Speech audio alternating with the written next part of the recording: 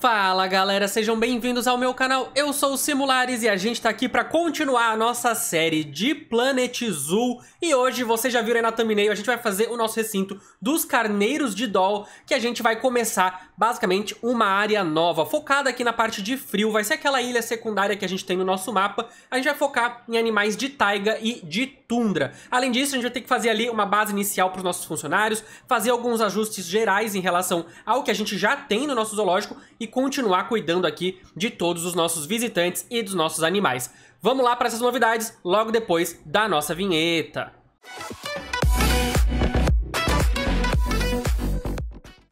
Beleza, galera, vamos lá. Esse aqui, então, é o nosso zoológico no estado dele atual. A gente não vai finalizar diretamente a nossa área da pradaria por agora. Não quer dizer que a gente não vá voltar para ela no futuro, porque a gente está indo para uma área nova. O que eu quero fazer é dar uma diversificada um pouco maior nos tipos dos bichos que normalmente a gente usa. Até então, a gente estava seguindo meio que numa ordem lógica, né? Então a gente começava a área da pradaria, fazia a pradaria até a gente terminar ela, e aí passava por uma próxima. Assim foi na parte central e na parte aqui da floresta floresta também. Dessa vez a gente vai fazer um pouco mesclado. Eu quero dar foco total agora na nossa ilha aqui, que vai ser a parte de frio, de tundra e taiga, como eu já falei, mas basicamente a gente às vezes vai poder retomar pro lado de cá, porque eu ainda quero colocar mais alguns animais da parte da pradaria, só que do jeito que a área da pradaria tá colocada por enquanto nessa forma aqui, por enquanto para mim já tá suficiente. Então a gente vai aos poucos retomar para cá e conforme dá a gente vai continuar expandindo ali para trás, mas continuando agora com o nosso foco, como eu disse, na parte aqui do frio. Inclusive, algumas coisas a gente vai poder fazer aí aos poucos, como parte de decorações. Eu já comentei no passado com vocês que eu quero ainda fazer algumas questões aqui na parte de decorações em live. Só que antes de qualquer coisa, eu já quero avisar vocês para vocês entrarem lá no nosso Discord e no Instagram. Segue no Instagram pra gente poder sempre ficar avisando aí vocês quando a gente for ter lives, tá? Então, se você quiser ficar por dentro, poder acompanhar ao vivo nossos conteúdos aqui da parte de live, vai ter aviso sempre no Discord e no Instagram. Às vezes eu vou avisar nos vídeos também, eu tento sempre avisar com antecedência, mas às vezes não acontece como, por exemplo, no último caso que a gente teve live ali da nossa tier list. Para quem não assistiu, a gente fez uma live completa analisando todas as nossas partes aqui de DLCs lançadas até o começo de 2023 e essa live eu acabei avisando meio em cima da hora, porque eu tive problemas com uma gravação de um vídeo, e aí pra substituir o vídeo eu fiz uma live. Então vocês não ficaram sem conteúdo, mas infelizmente eu não consegui avisar com tanta antecedência. Então por isso que eu tô dando esse aviso aqui à parte pra vocês ficarem por dentro, que eu sei que muita gente gostaria de participar, poder trocar uma ideia ao vivo aqui comigo, então é por lá que eu aviso, tanto no Instagram quanto no Discord. Nos nossos últimos vídeos aqui a gente fez então a nossa área aqui da pradaria, né? A gente tava continuando aqui a nossa área do nosso Mis aqui da parte da África. Tem bastante bicho aqui já, eles estão se reproduzindo super bem porque eles estão super confortáveis. Nossa parte aqui da fila tá funcionando super bacaninha. A gente conseguiu finalmente, eu deixei rodar o jogo um pouco aqui, conseguiu agora dar uma liberada na nossa parte aqui da nossa área de alimentação. Então agora aos poucos, conforme as pessoas vão tendo fome e tal, elas vão retomando pra cá, mas felizmente não tá mais tudo trancado como tava anteriormente. E aqui, nosso serpentário, a gente ter colocado uma área de entrada aqui pro fundo, também ajudou a galera circular melhor pra cá. O nosso recinto aqui dos emus, como eu tinha falado no nosso último vídeo, eu pretendo em breve colocar um pouco mais de matinho aqui nas paredes, mas não é agora a minha maior prioridade. A gente vai fazendo esses detalhes aos poucos, como eu falei, eu realmente pretendo fazer muito, muito em breve. Provavelmente agora na nossa próxima semana aí eu já vou ter mais um aviso de live pra vocês, então como eu falei, fiquem de olho pra gente poder fazer uma live aqui focada em decoração. Então eu vou decorar aqui esse nosso zoológico da série, enquanto eu vou trocando uma ideia com vocês. No mais, a nossa série tá indo super bem. Se eu mostrar aqui pra vocês, a gente ganhou um dinheirinho enquanto eu deixei o jogo passando. A gente tá perdendo e ganhando dinheiro conforme as coisas vão acontecendo, né? Basicamente, as coisas vão avançando aqui aos poucos. E no mais, a gente vai cuidando aqui com o nosso fluxo do caixa. No ano anterior, a gente teve uma perda aí de quase 45 mil. E nesse ano, a gente tá agora no mês de maio e já estamos aí com menos 9 mil no nosso caixa financeiro. Como vocês sabem, a gente gasta muito com as nossas decorações. A gente tem bastante bastante funcionários e a gente joga o jogo basicamente do jeito que ele é para ser jogado. Então a gente bota aqui os nossos treinamentos dos funcionários ativos, a gente tem aqui os custos das lojas, alimentação, tudo no melhor possível para os nossos animais. Falando nos animais, antes da gente ir para nossa construção, a gente tem alguns recursos aqui que a gente precisa dar uma olhada. Nosso mix aqui da África já está com 30 animais, nosso custo operacional dele já está em mais de 9 mil aqui, né? E os nossos lêmures também estão com 38 animais aqui dentro do recinto. Vocês comentaram comigo aí quando eu mostrei como que tava aqui, realmente tá super, super cheio. A gente pode ver aqui que tem bastante lêmures aqui dentro. Eu acho bacana essa ideia, tá? Não tô reclamando disso. Pra mim não é um problema, eu acho justamente bem interessante que a gente tenha vários e vários lêmures, mas obviamente a gente também não quer que fique uma sobrelotação, né? Que a gente tenha aí um problema com isso. Então aos poucos eu vou tentar manter aqui o cuidado para que a gente não tenha tantos animais sobrando aqui, né? Por exemplo, a gente tem 7 da nossa parte aqui das varécias preto e branco, a gente tem 19 das varécias vermelhas e a gente tem 13 dos lêmures de cauda anelada. Então a gente tem aqui quatro idosos, por exemplo, que a gente já poderia mandar pro nosso abrigo, e aí a gente já libera um pouquinho aqui também do espaço, né? Então sempre que a gente puder ir ajustando aqui as coisas, melhorando aqui pros nossos animais, a gente vai fazendo isso o quanto antes para poder deixar isso no melhor possível, certo? Seguindo adiante, por exemplo, ali, as nossas partes aqui das jacaretingas, tem uma jacaretinga só no nosso recinto agora, que é essa aqui, ela tá sozinha aqui no nosso recinto, né? Então a gente precisa ficar de olho, já é uma a jacaretinga aqui idosa, né? Então a gente poderia ver para colocar um casal jovem e doar essa aqui de volta pro abrigo, pra gente poder então liberar essa aqui para poder ficar mais tranquilinha na natureza. Beleza, feito tudo isso, então aqui a gente no restante tá bem tranquilo, nossas capivaras voltaram a ficar aqui com bastante exemplares, a gente precisa ficar de olho inclusive para não ficar uma sobrelotação. No caso a gente tá agora com quatro porque eu dei uma limpada e botei todas elas de novo no contraceptivo, mas como elas já estão agora todas idosas, né, a gente podia também ver pra nossa questão aqui de logo já comprar um casal novo para eles poderem ir se reproduzindo. Mas a gente vai fazendo isso aos poucos, porque eu realmente não quero que fique aqui muitos, muitos ali, porque eles se reproduzem super rápido, vocês sabem disso, né? E aqui, por exemplo, no nossos Oryx, a gente tem vários aqui também, a gente poderia ver para doar alguns aqui, deixar, por exemplo, só um casal, que é exatamente isso que eu vou fazer. Vamos botar esses quatro aqui para devolver para a natureza. E aqui a gente vai ter então duas fêmeas, uma filhote e um adulto macho aqui, que está infectado. A gente poderia, inclusive, chamar aqui um veterinário para dar uma olhada nisso, certo? Outra coisa que eu quero ver com vocês é em relação aqui à nossa área da nossa parte da tundra e da taiga. Não vai caber, obviamente, muitos e muitos recintos aqui. Se a gente for ver, esse tamanho aqui da nossa área vai ser menor, por exemplo, do que a área que a gente tem aqui da nossa pradaria. Eu pretendo fazer aqui dentro uma praça de alimentação um pouco mais bonitinha, como a gente fez essa de cá. Pretendo fazer aqui também uma área de funcionários e eu queria fazer pelo menos cinco recintos, porque alguns animais precisam de muito espaço.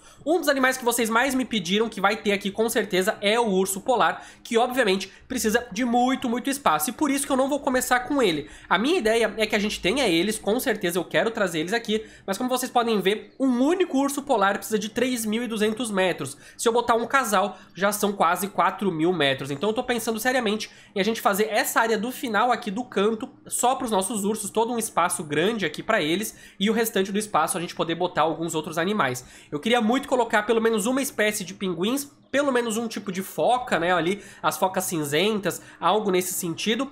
E também quero botar ali os lobos ou as raposas do Ártico, porque esses são os animais aí que vocês mais me pediram. Não é uma certeza esses animais que eu tô falando, tô dando mais ou menos uma ideia do que, eu gostaria de trazer pra cá, mas a princípio seria isso. E aí a gente teria aqui uma área exclusiva do frio. Outra coisa que a gente poderia fazer no futuro seria também aqui para trás uma área mais aquática, algo nesse sentido. E aí a gente poderia trazer também ali os nossos leões marinhos, alguma outra espécie de pinguins e alguns animais que também podem ficar na água, como por exemplo os hipopótamos, que podem se unificar aqui com a parte da pradaria, né? Fazer aqui nesse finalzinho ali do mapa. Mas aqui realmente vai ser uma área mais congelada, eu acho que vai ficar bem bacana a gente fazer isso. E uma coisa que a gente vai fazer, inicialmente a minha ideia era a gente fazer a nossa conexão aqui por cima, né? Fazer a ponte conectar por aqui aqui. Provavelmente a gente pode ver para tentar fazer dessa questão, mas eu tô repensando e a minha ideia por enquanto vai ser o seguinte. Eu vou fazer a nossa ponte conectando por aqui, ó. Vai ser uma ponte mais longa, ela vai passar aqui pelo meio. E por que que eu quero fazer isso? É porque eu quero trazer mais movimento para essa área de cá, onde estão aqui as nossas varécias. Depois que a gente começou a levar muito nossos animais lá pro fundo,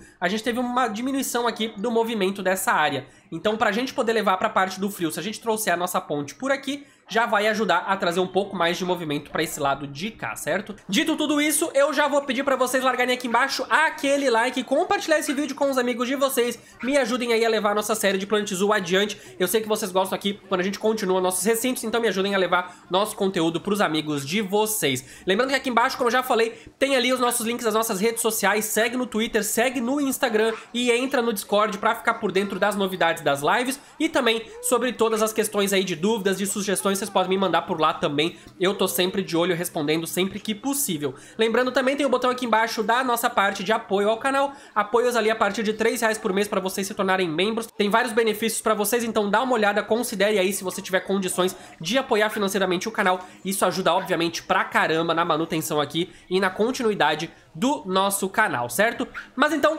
vamos lá, vamos começar aqui a nossa timelapse, bora lá pra gente fazer aqui a nossa parte inicial do nosso recinto e eu já mostro aqui pra vocês as nossas novidades.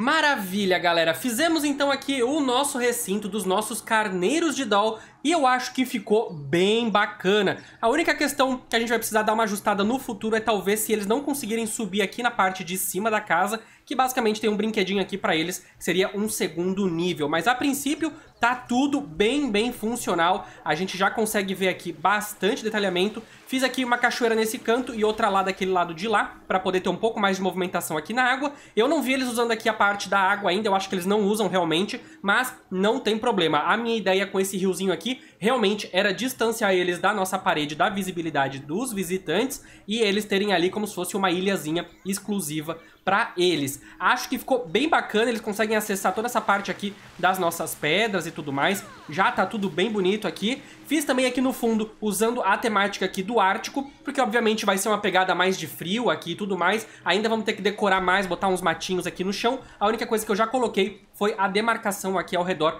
do nosso caminho, usando o mesmo tema que eu fiz em todo aqui o nosso caminho dos visitantes. Uma coisa que eu quero saber a opinião de vocês é sobre os bancos dos visitantes. Deixa eu tirar essa árvore aqui para mostrar para vocês. Eu tô em dúvida em qual vai ser o nosso banco temático dessa nossa área de taiga e tundra.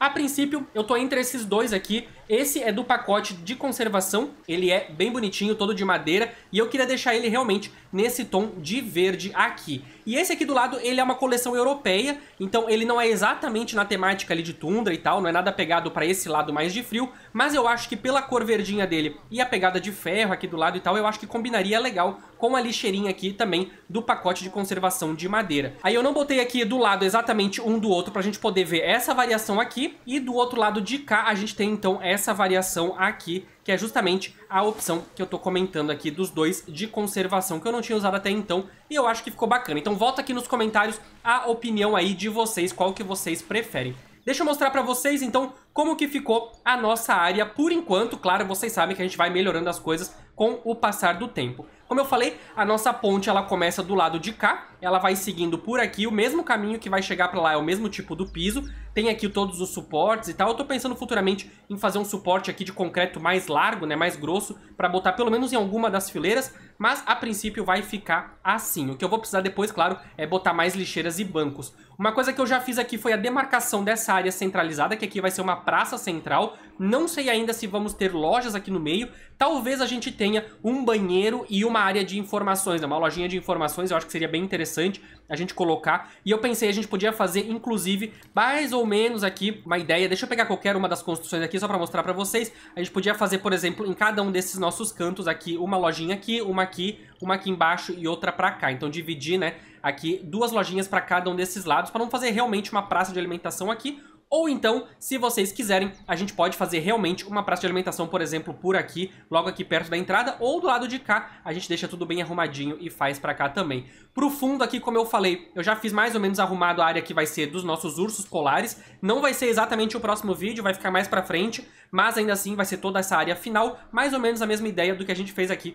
a área de África, né, que é todo o fim ali do nosso mapa. E ainda assim, a gente tem aqui mais ou menos já marcada para onde vão ser os caminhos do nosso pedaço aqui da área de taiga e tundra. Então a gente pode fazer aqui uma parte de um recinto, aqui outro, mais ou menos aqui já pré-definido o que a gente vai fazer em relação aos espaços do recinto. Mas no geral, a gente já tem um aqui e no futuro a gente pode colocar mais um recinto aqui pequenininho nesse canto também, logo aqui encostado na nossa área aqui dos funcionários, certo? Já tá funcionando, já tá tudo certinho. Deixa eu mostrar para vocês então a gente aqui caminhando na área de visitantes para a gente poder ver isso aqui bem bacaninha. Então como vocês podem ver é um desnível, né? Quando ele chega aqui eles já podem descer e aí eles vão andando para cá. Chegando aqui para lá eles já conseguem ver o topo das construções dos funcionários.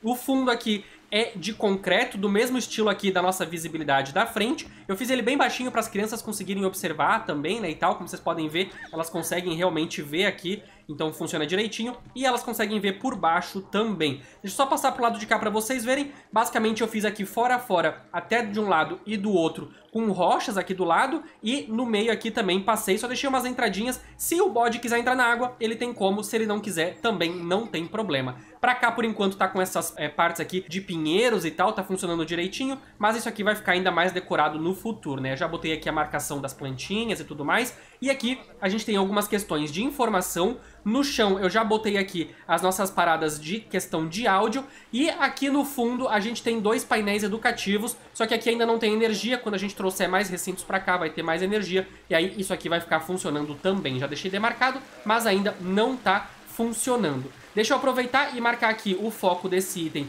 no nosso item aqui de arranhador, para as pessoas virem aqui observar por aqui. Não sei porquê, mas esse item aqui tá largado aqui em cima. O nosso bode deve ter trazido de cá e largou ali em cima. A gente tem aqui então a nossa primeira cachoeirinha, muito bonitinha. Eles realmente conseguem subir aqui, tá? Eles vão conseguir acessar isso aqui certinho, direitinho. E andando pra cá, a gente consegue também ver outras questões, né? Aqui eles têm outras áreas, eu fiz como se fosse um morro aqui em cima para eles poderem andar e tal. Aqui do lado tem um item ali de enriquecimento, que é o que a gente vai marcar aqui com essa direção apontada para esse item de cá, que é o nosso barril suspenso. Maravilha, já está marcado. Aqui do lado a gente tem um item de educação para a parte de som que os animais fazem.